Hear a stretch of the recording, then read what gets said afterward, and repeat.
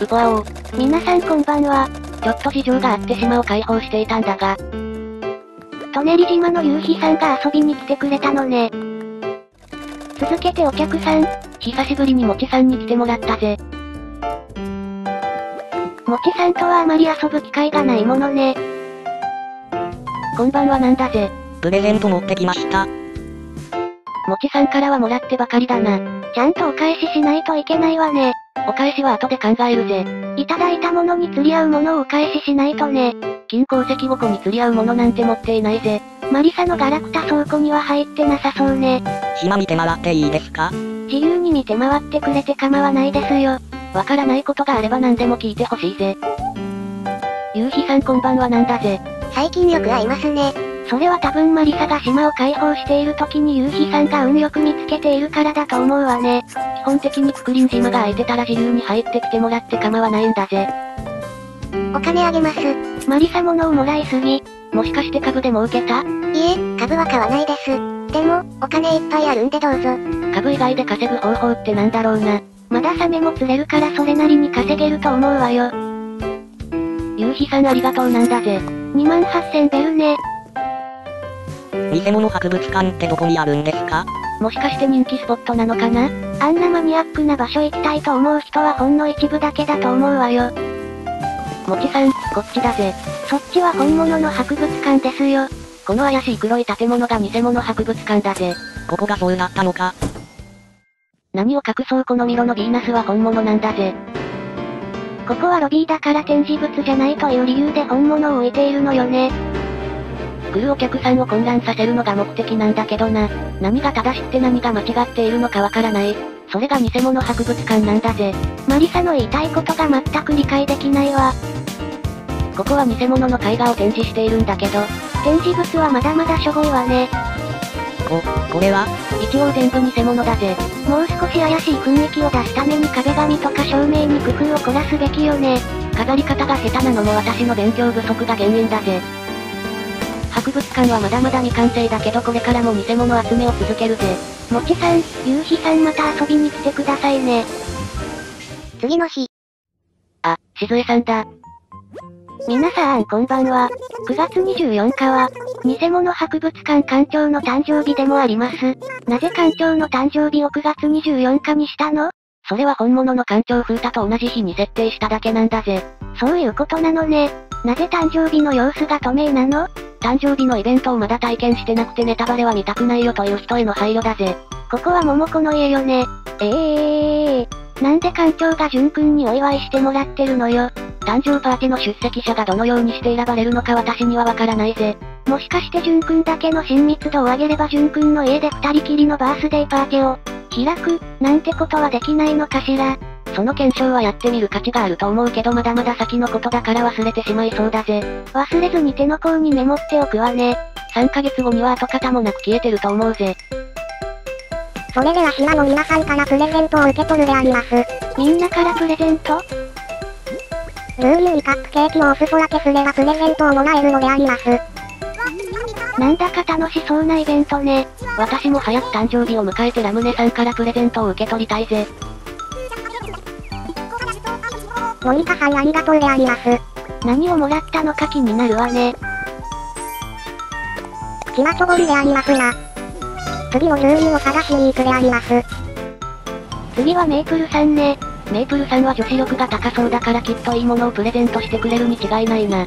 贈り物をする時の参考にしたいわね。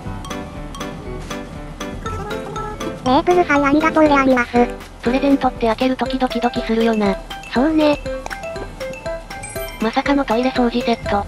毎日トイレをきれいにするであります。あ、グリスキールさんではありませんか。カップケーキをお裾分けであります。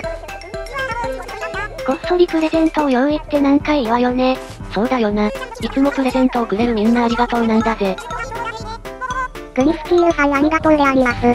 クリスチーヌのプレゼントはきっと可愛らしいものに違いないわね。まさかのトイレ掃除セットかぶり。福林島の女子の中ではトイレ掃除セットが有効中のようね。ハッチさんからはベースボールカップをいただきました。なかなか可愛い帽子じゃないか。マリサさんの誘導によりラムネさんからはプレゼントを受け取ることができませんでした。マリサ最低だな。館長ほとんど家から出てこなかったからラムネさんとの親密度が下がりすぎたんだな。普段のプレゼントすらできない状態なのね。キングさんは一体どんなプレゼントを用意してくれていたのでありますか？キングさんは金持ちだからきっと高価なものよね。高価な家具といえば楽器系だな。楽器系は10万ベル超えなんて当たり前だものね。期待して関数であります。ニットカップ？きっと高価なニットなのよ。ダブったトイレ掃除セットが色違いの可能性があるからそこで確認してくれないか？この辺りに2つ並べてみるであります。プランジャーとたわしの色が違うんだよな。プランジャー？つまりを直すやつはプランジャーって言うんだぜ。残念だけど色違いではないわね。次の日。モニカさんが読んでるわよ。クッション。断る理由がないからもらっておくぜ。クッションを置けるようなくつろげる部屋でも作ろうかな。1号さん。え、1号さんまでももうもに？実派なレイム。あ、この状況には既視感があるわね。口輪筋にすっげー効きそう。桃を持って筋トレだったのね。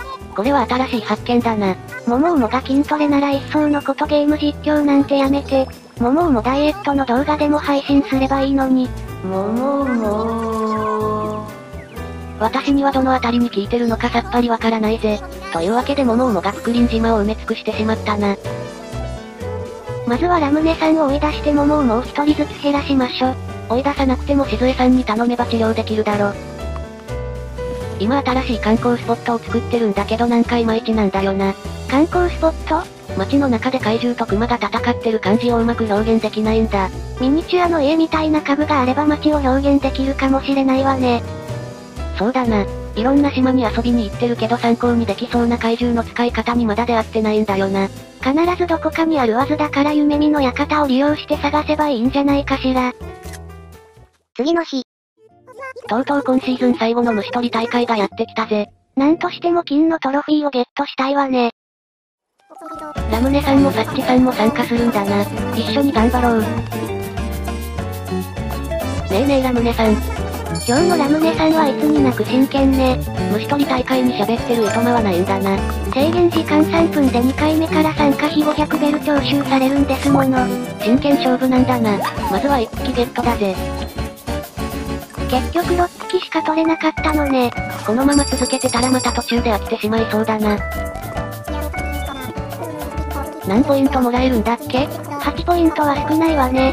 誰かに協力してもらおうじゃないか。他の人の島に行って協力プレイをするのね。これでポイントの稼げる速さが何倍にもなるぜ。リセさんの集まれ島にレッツゴーだぜ。15分くらいで金のトロフィー獲得したいぜ。うまくいくといいわね。エラーが出て集まれ島に行けないじゃないか誰かこのエラーコードに詳しい方教えてください。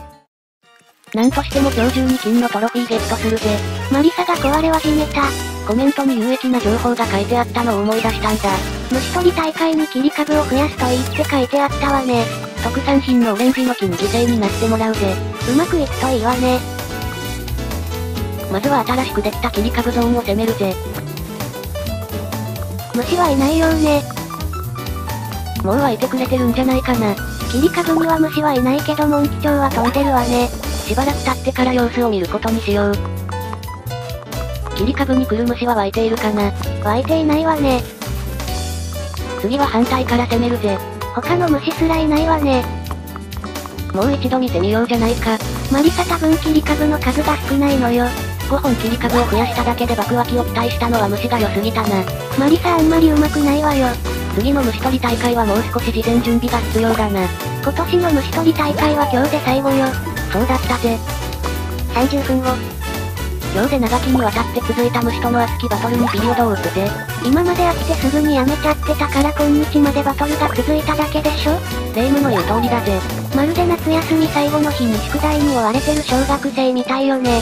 私は宿題に追われたことなんて一度もないぜ。あんたはただ宿題をやっていかなかっただけでしょ。怒られて済むのならそれでいいと思ってたからな。宿題をやらないのって怒られるだけで済むよね。あんまりちゃんと覚えていないけど多分そうだったと思うぜ。マリサの記憶力は当てにならないからどうでもいいわ。宿題をやっていかなかったという記憶自体が間違いかもしれないものな。宿題をやっていかなかったという記憶は間違いないと思うわよ。その記憶は自信を持っていいわよ。自信を持つような記憶ではないと思うぜ。